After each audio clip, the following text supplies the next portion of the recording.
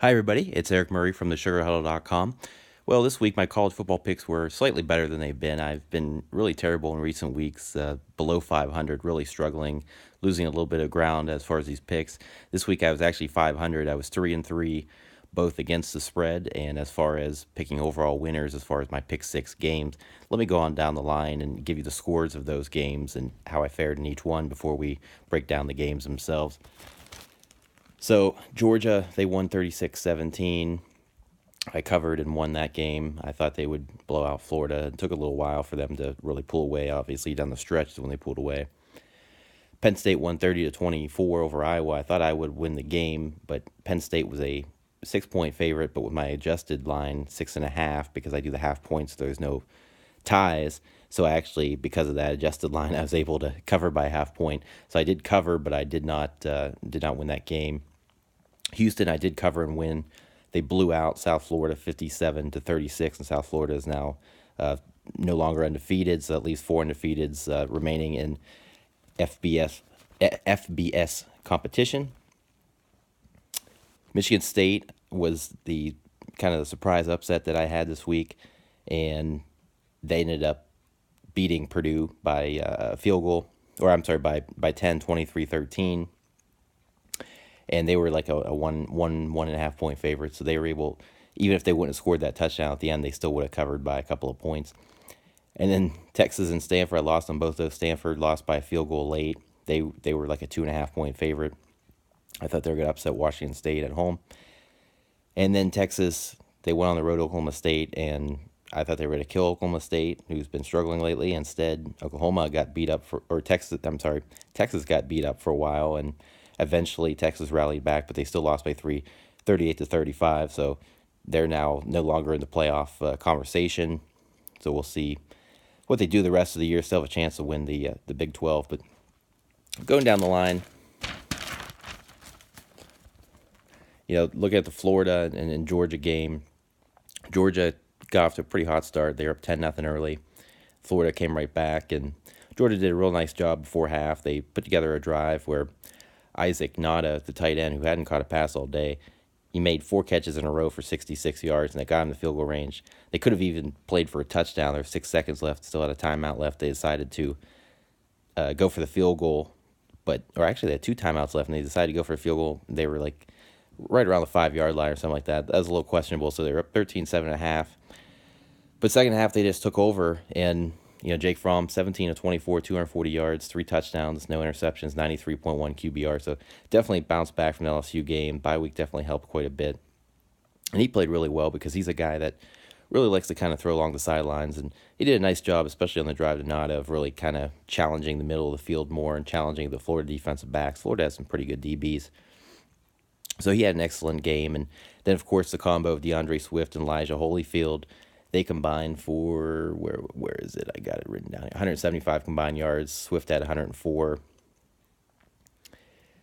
And you know, as far as Florida goes, you know, one of the concerns I had is that even though they came in the game averaging 34.4 points per game, they didn't really play like a team averaging that. They've gotten off to a lot of slow offensive starts the last few weeks, regardless of wins or losses. And this was yet another game. You know, they only had the seven points at halftime and they didn't really play a, a, whole heck of a lot better in the second half offensively. Felipe Franks, who, you know, in some ways has been putting together a real nice season, in other ways is still another Florida quarterback in recent years where you're like, eh, maybe he's just not the right guy for the job.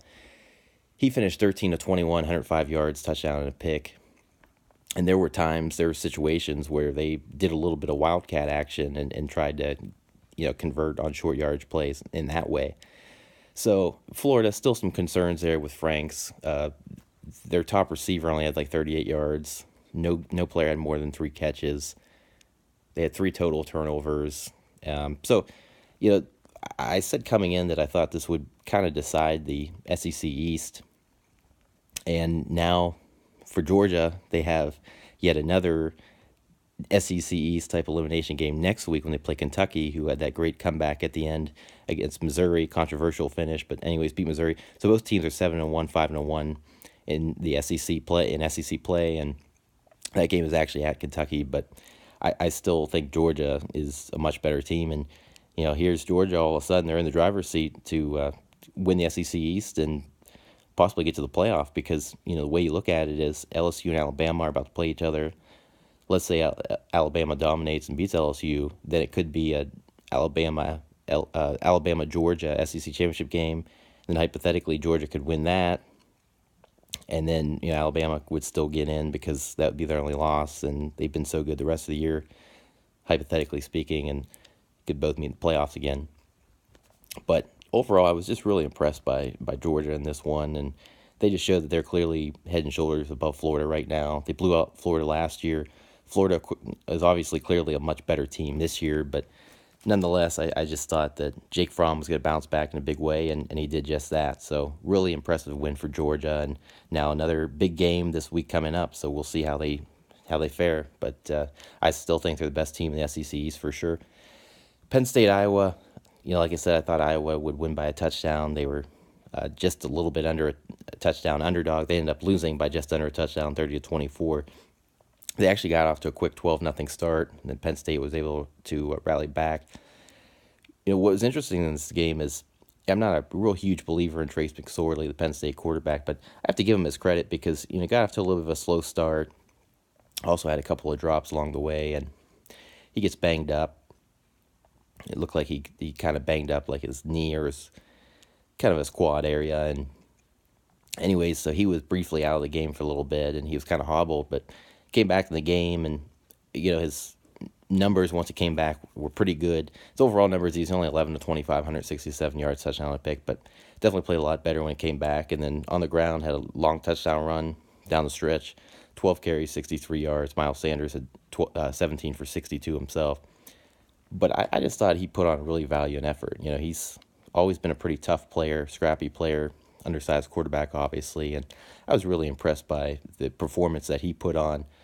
And you know, now they're at Michigan next week, so another big game for Penn State, but they're still right there in the Big Ten East, and and they could still, you know, possibly win the Big Ten East. It, it's still kind of up in the air, so definitely have to, to give McSorley a lot of credit for this one. I, I know the final numbers aren't going to be pretty, but overall performance was very impressive, especially coming back from injury. He actually played better after he got hurt. So be, it'll be interesting to see you know, him going against Shea Patterson next week, Michigan quarterback who's very similar in style and, and not a whole lot, not, not much bigger than uh, McSorley stature wise. And as far as Iowa, you know, Nate Stanley, he's a guy that he's not like a top flight NFL prospect next year and what's not supposed to be a very good draft as far as quarterbacks go, but still a guy who's definitely a prospect. He's like 6'4, 242. He's got a really big arm, nice looking quarterback. Was having a really good year coming into this one. But he's 18 of 49, 205 yards and a couple picks. He had that interception near the goal line with a little over three minutes of play. It was first and goal, and, and he, he rushed it, and his tight end, Noah Fant, was the guy in the slot, and he didn't he he wasn't even like completely ready for the play and he didn't turn around.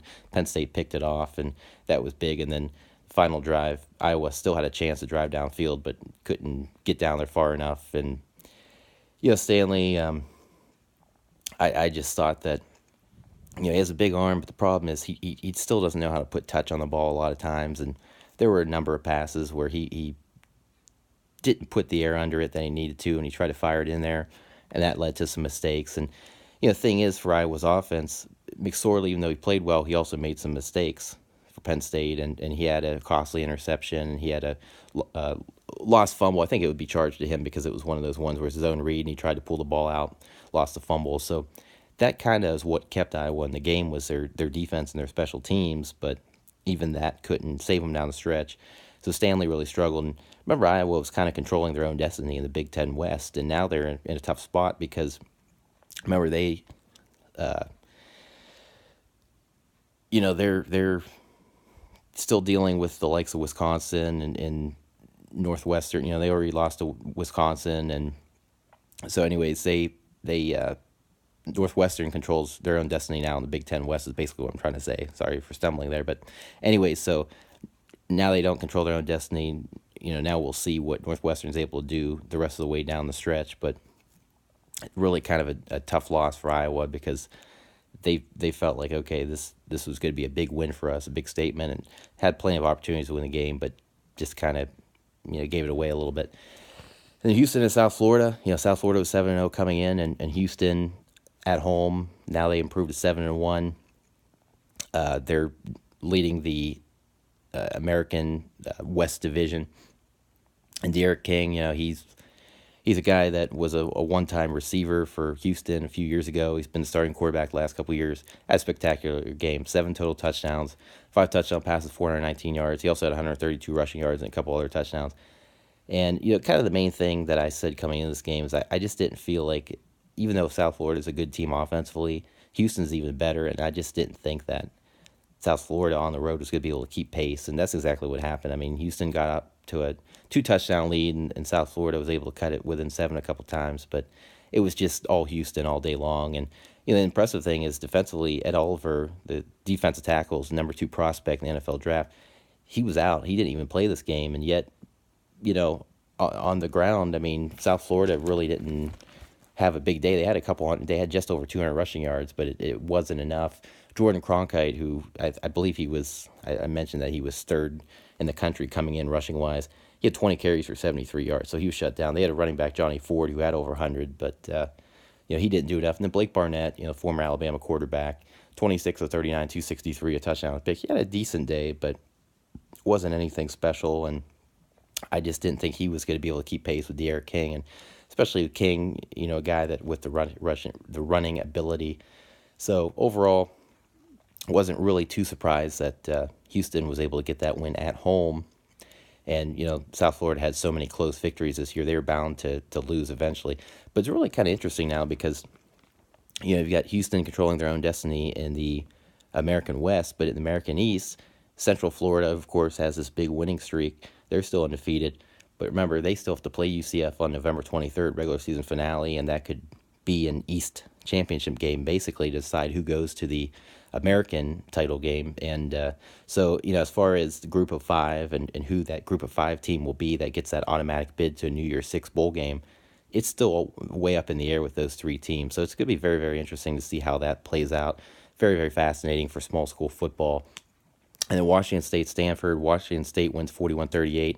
They improved to 7 and 1. They're now all alone, first place in the Pac 12 North yeah, I was really surprised because I really thought Stanford would, would get them at home. And you know, Washington State was such a big emotional win last week, beating Oregon. And remember, that was a game they almost blew. This week it was the other way around. They were down 28 to 14 at the half, and they were able to really light it up in the second half.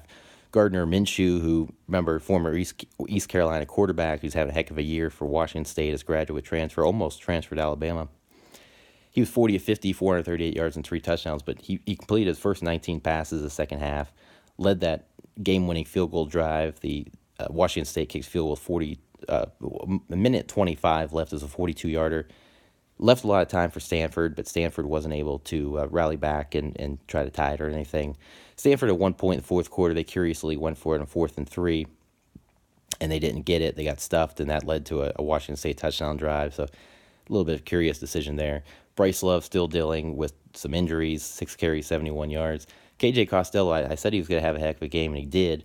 34 43, 323 yards, four touchdowns, did have a lost fumble, but at the end of the day, he can't play defense. And, you know, this isn't the same Stanford defense that we used to see, you know, up until two or three years ago. They've really struggled the last couple years, and I mean, that cost them. They, they had Washington State right where they wanted them at halftime, and, you know, second half, they just couldn't get it done. So, you know, so be it. But yeah, Washington State all of a sudden now they're a dark horse uh, playoff contender. I mean, I know they're not the sexy name brand that the, the CFB you know committee looks for, but I mean they're right there in the mix. So watch out for Washington State. They could be a surprise team down the stretch, and they could really create a little bit of chaos as far as the uh, committee. Because remember, the committee their their first rankings, their inaugural rankings of 2018 is is going to be coming out here uh, on Tuesday. And then the one that I really missed on, a major swing and a miss on my part, was the Oklahoma State Texas game. So I owe Oklahoma State an apology. I thought Texas was going to blow them out. I, I know the whole thing about Sam Ehlinger. You know, was he going to play? Wasn't he going to play with the injury? You know, I know it was Oklahoma State's homecoming, and Barry Sanders was there. They're celebrating the 1988 team. You know, had the awesome throwback jerseys, jerseys that they should wear all the time. By the way, Oklahoma State But even with all that and being a, a primetime game, I, I still thought Texas was a much better team. Remember, Oklahoma State had lost three out of four after a 3 0 start. They were really struggling. Lost 31 to 12 to Kansas State recently. Yeah, they had a bye week, but I just I didn't think they were going to play this well. And, and the big thing was Mike Gundy decided to play more up tempo than usual. They're an up tempo team as is, as we all know. You know, air raid type of team, but they played a lot more up tempo in this one. They're up 31 14 at the half. You know, Tylan Wallace, he had eight catches, 167 yards, two touchdowns at the half had that big touchdown reception late in the first half on that jump ball on fourth and one, which is a, a ballsy call by Gundy and, and certainly a ballsy throw by Cornelius because it was basically just a jump ball in the end zone or near or just just shy of the end zone and Wallace came down with it, did a great job timing his jump, ended up with 10 catches, 222 yards, so didn't do a whole lot after halftime, but did what he needed to do in the first half. But you know, Oklahoma State, they have kind of a, a history of getting these leads on Texas and blowing it, and they almost did it again. You know, Sam Ehlinger got a little bit banged up again this game, but he he much like McSorley, undersized quarterback, so much heart, very scrappy, and he did a great job in the second half. He got off to a slow start. He was like five of fifteen passing in the first half. Then I think he was like nine of twenty five, and then that's when he started to really go on a run, and it was really on a roll from there. And his final numbers 22, 42, 283, and two touchdowns. 10 carries, 47 yards, a couple touchdowns. Had a, a real nice jump pass touchdown, but just wasn't quite enough. You know, you, you build that big of, of a deficit, and, you know, kind of similar to the Washington State Oregon game. Washington State, the big lead at halftime. Then all of a sudden, Oregon goes on a big run, and the Washington State basically just needs one score mid to late fourth quarter to, to put it away, and that's exactly what happened. And, you know, I really I give Cornelius a lot of credit because he's been so up and down, hit or miss this year, and, and he was amazing in this one. He had 321 yards, three scores, and on the ground had two rushing touchdowns. You know, did that zone read stuff where he pulls it out, keeps it himself, and you know had a, a, a touchdown run, very key run in second half where he did that, and then he had the game stealing first down uh, inside. I think it was just outside a minute left where he did the same exact play. So I was really impressed by him. You know, he's a big quarterback. I think he's like 6'6", 230, and uh, definitely has a lot of athleticism to him, and, and I was really impressed by his performance. So if he can play more like that on a consistent basis, then you know this team can really have a strong finish to the season. But overall, I was really impressed by Oklahoma State. Great job bouncing back. They're five and three now. Texas falls to six and two, and, and they're out of the playoff picture. Even coming in this game, a lot of people weren't really sure what to think of Texas. I still wasn't sold on Texas, even though I, I thought they were going to win this one big. But now you're just like, okay, well, Texas, you know, they really haven't, other than Oklahoma, they, they haven't had hardly any impressive wins. You know, TCU's three and five now, USC's four and four, so those wins aren't really very impressive. And even this one would have been over Oklahoma State, who would have fallen to four and four if Texas would have beaten them. So, you know, obviously they didn't. So, yeah, Texas, they're they're a team that they still have a ways to go still flawed in the passing game and still flawed defensively because defensively, you know, they're going to be really great one week and then they're going to struggle the next. You know, Justice Hill for Oklahoma State at 92 of, of the team's 181 rushing yards. So, yeah, Texas defense really just couldn't do a whole lot right. And that's kind of their bread and butter right now because their offense still isn't quite on the same level as defense. But when defense plays like this, it's like, well, you're not going to win a whole lot of football games. So, you know, Oklahoma, they're they're looks like Oklahoma is definitely the favorite, which I still thought they were coming into this game. Oklahoma's definitely favorite to win the Big 12, and obviously they got a collision course coming up with West Virginia. But uh, yeah, I, I, wasn't a huge believer in Texas, even though I picked them again, picked them to win this game big. But um, this kind of showed that Texas still was another year away from where they really need to be. So anyhow, that that's how it ends for Texas. And then finally, the Michigan State Purdue game. Both teams were unranked coming in, and but you know, Purdue had just won four in a row coming into this game. Michigan State, though, at home, I just felt like they were going to bounce back this week, play a lot better than they did against Michigan, and I thought they were going to do a lot better offensively. Didn't realize that uh, Brian Lewerke was banged up coming in this game, and he didn't play. Freshman Rocky Long, who looks like Sunshine from Remember the Titans, if you remember that movie. He's a uh, good sized quarterback, 6'3", about 220, true freshman out of, he's from the state of Iowa. And he did a heck of a job. You know, he, he showed some athleticism and, and made some really nice throws and he was really on it all day long. He finished 26 of 46, 318 yards and a couple touchdowns. And you know, Michigan State was just a slightly better team all day. It was a back and forth game, low scoring game, but they were just a little bit of a better team all day long. And you know, I, I thought the main thing with Purdue is they were going to have a hangover because it was such a big emotional win at home against Ohio State, all the implications, and I just thought they were going to go noon game East Lansing, and they were going to sleepwalk a little bit. And and Jeff Brohm, who I still want USC to hire as their next head coach, he he was chewing out a lot of people on the sidelines, and I don't blame him. And, I mean you know, David Blough, after such a great game a week ago against Ohio State, hell of an effort, had three touchdown passes, I believe. He had three interceptions in this one, no touchdowns, was 29 of 49. He's really struggled all day long, was really off on a lot of plays. You know, one of the interceptions was late to seal the game when they were already down by 10. DJ Knox, who had a, a tremendous game a week ago against Ohio State, he had just seven carries in this one big for 51 yards. As a team, they only had 62 yards, so did nothing on the ground after tearing it up against Ohio State passing game, too many turnovers, too many mistakes. Snapped a four game winning streak. They're now uh, second in the West, but they host Iowa next week, so that'll be an elimination game in the West. So it's interesting because they could still go get to the Big Ten championship game even with this loss, but you do wonder. I mean, how good is this Purdue team? You know, even though they won four in a row, their only real important win was against Ohio State, and you know, you just wonder, uh, can they find a way to win the Big Ten West because I don't see Northwestern winning out. Iowa could, you know, Iowa's a beatable team coming off of a rough week, so it's gonna be very interesting to see what happens there. But, anyways, nice win for Michigan State. Great, great win for Oklahoma State. Definitely the most impressive team of the weekend. Houston's looking good. Georgia, you know, I wasn't surprised by that one. You know, give Penn State some credit for for getting that win. But, um, anyways, those that kind of concludes my week nine college football pick six, how my picks fared. So I, going to also do some bowl picks after the regular season ends, just to let you know. So we'll see what my record ends up being because I'm still slightly under 500 right now. But for the time being, we'll worry about the regular season. So, anyways, that's my pick six. And please go to sugarhuddle.com. As always, please uh, subscribe to my YouTube channel. And please like my Facebook page, which is just called the Sugar Huddle as well, and spread the word. Thank you.